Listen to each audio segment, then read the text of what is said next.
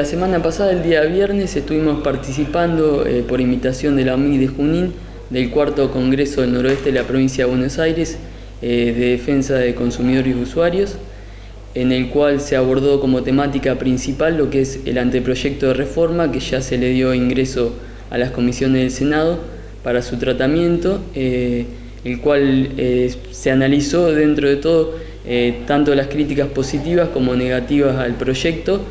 para intentar elevar esas críticas y que se hagan algunas modificaciones en el, paso por las cámaras del proyecto para darle los retoques y que sea un proyecto que realmente sea una evolución hacia el derecho del consumo que se ha difundido muchísimo en los últimos años y requiere un, un tratamiento o una ley que se adapte a esas nuevas circunstancias como son por ejemplo las contrataciones electrónicas, el sobreendeudamiento, que se proteja más eh, al consumidor ante esas situaciones y se le, se le imprima más deberes a, a, los proveedores en ese caso.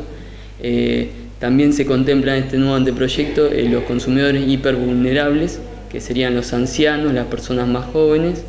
y se le refuerza una protección a, esa, a, esos sujetos. Eso es una crítica positiva, pero ya te digo, hay un equilibrio, hay críticas negativas y positivas, hay muchas cosas para mejorar que se que se trataron y se van a tratar de elevar en las comisiones.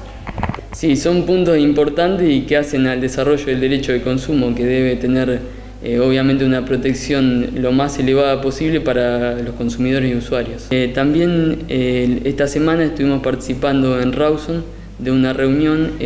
solicitada por productores del sector de la Ruta 51, productores rurales, que nos habían solicitado el día 31 de octubre en una reunión que mantuvimos una mediación desde nuestra oficina para poder eh, lograr una reunión con directivos y técnicos de la Cooperativa Eléctrica de Chacabuco,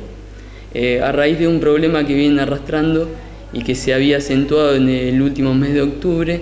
eh, por baja de tensión y también cortes, que en algunos casos llegaban a las 7 u 8 horas. teniendo en cuenta que es una zona rural con muchos tambos y demás, era una, una, preocupación realmente importante y razonable por parte de los productores. Eh, se realizó esta semana en la localidad esa reunión y se fijaron algunos, algunas acciones concretas y en el mediano plazo para poder eh, de alguna manera paliar esta, esta problemática que tienen y a largo plazo la cooperativa digamos, eh, presentó un proyecto que tiene a futuro para esa zona para mejorar digamos, la cuestión de fondo. ¿sí? El proyecto a futuro es un proyecto de envergadura, algunas condiciones técnicas específicas, pero es un movimiento de la línea y mejoras sustanciales. En el inmediato plazo los productores lo que solicitaron y, le reclamaron es eh, cierto mantenimiento de la línea de tensión, que hay muchos en esa zona, hay muchos postes caídos, eh, que eso provoca que se toquen los cables en determinadas ocasiones y se corte el servicio de energía eléctrica. Eh, y algunas cuestiones de ese estilo que se van a realizar en breve. Y el día lunes estarán visitando nuestra ciudad eh, representantes de Contralor de Provincia de Buenos Aires, de la Secretaría de Comercio, para realizar una capacitación del personal inspectores que tenemos en la oficina acerca del programa de precios cuidados con productos esenciales.